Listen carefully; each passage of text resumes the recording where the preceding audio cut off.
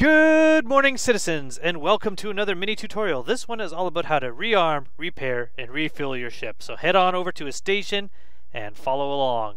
Here we go.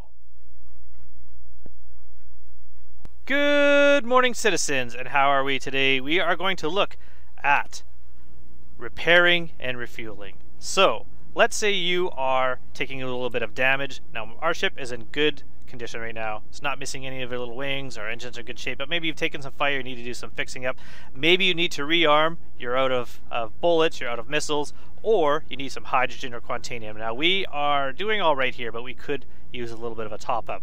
What you need to do is be in a hangar, landed, or you could be on a landing pad at a station. So here I am at Faithful Dream, sitting on the pad here. Uh, I'm just going to hit F1. We're going to go to this down to the bottom, looks like a little wrench in a circle. Vehicle maintenance services.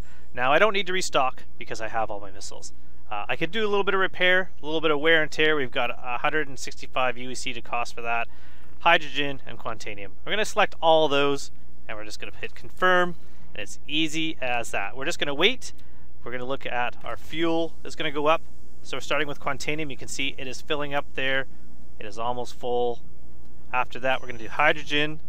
That will come next, so we'll hear the little hissing noise once that starts filling up. There we go.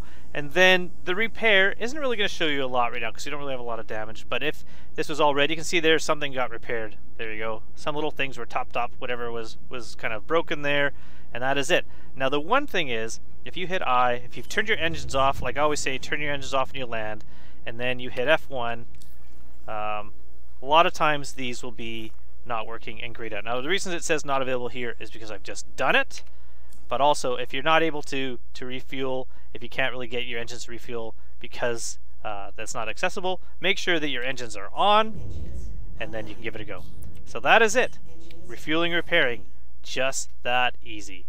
Until next time, I hope to see you soon in the verse. Goodbye.